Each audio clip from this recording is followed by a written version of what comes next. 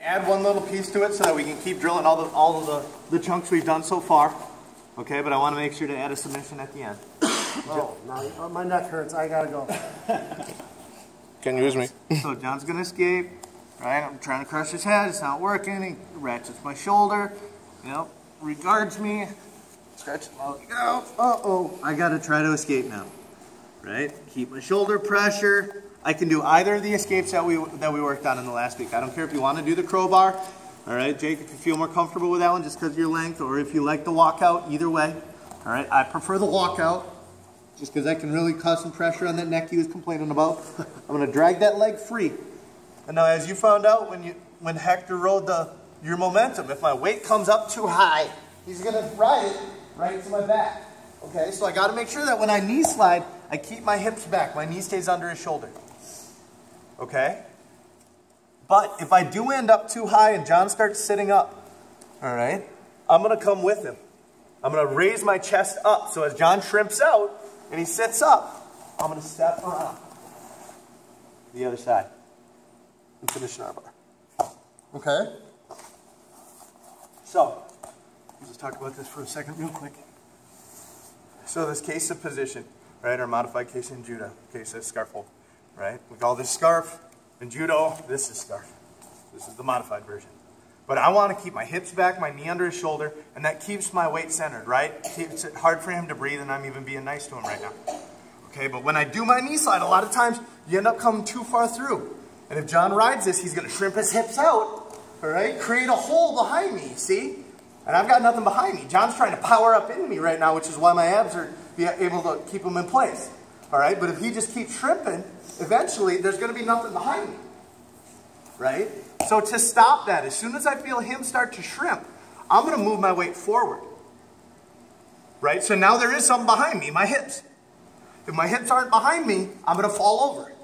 Exactly. And we're in that, we're in that limbo. So instead of letting him fall over, my first option is to pull my hips back, but if I just want to finish the fight, right, my hips are out, I trick him into starting to shrimp, and as soon as he does, I'm going to take that weight off. So we don't have that connection for him to drive me over anymore. Right? Controlling that shoulder and posting on his head so he can't come up to his knees right away, and I step around. Let that leg full, and I step over the head. Cool? Sorry I didn't want to fall in your lap. Yeah.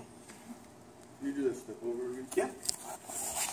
So it's just like all the, come over here so I'm not right the. It's just like all the arm bars we've done from side control, right? Where he starts he starts attacking, he starts rolling up, I step past, and I return. It's that same motion. I'm just coming from my hip instead of my knees this time. I'm out here. You see, I already screwed up. I did my knee slide, my hips got too high. So I'm trying to recover. Okay? I got to get that weight in, keep them pinned, then I'm going to roll over that, that knee. Okay? I'm trying to keep my leg in front of his head as much as possible. I don't want to let my leg come behind his head like you just saw. Okay? So I'm under here. I want to come up so that my knee can roll over his face. If my knee is behind his head, when I do that, boom, now he's out. And now I gotta just transition to side which isn't a bad thing. I'm still in a better position. I, I guess I'm back where I started, but because I let him get out. Make sense? So stepping around for that armbar, try to keep your leg in front of him, pressure on the face, pulling that shoulder. It's that same thing I was talking about before of separating his head from his shoulder to control. As I step around, fall. Okay, pop up on that knee, step. My knee draws across. I can't step up and then stand up and try to sit down. Too much space, take too long. I'll let that, let that leg roll. Come here, I come up, and then that knee. Right onto the side of the face. Should use more words instead of gestures and grunts, but how my people to communicate. Yeah? Questions? All right, play with it a little bit. All the way from screwing up, back into our pass, all the way to a submission. One, two, three.